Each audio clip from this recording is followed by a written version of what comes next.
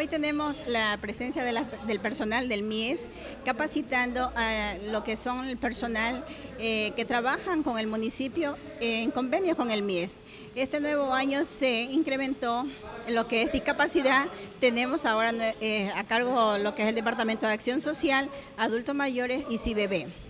La importancia de esta reunión eh, hoy día es con la familia, para que la familia sepa los beneficios que se les están brindando.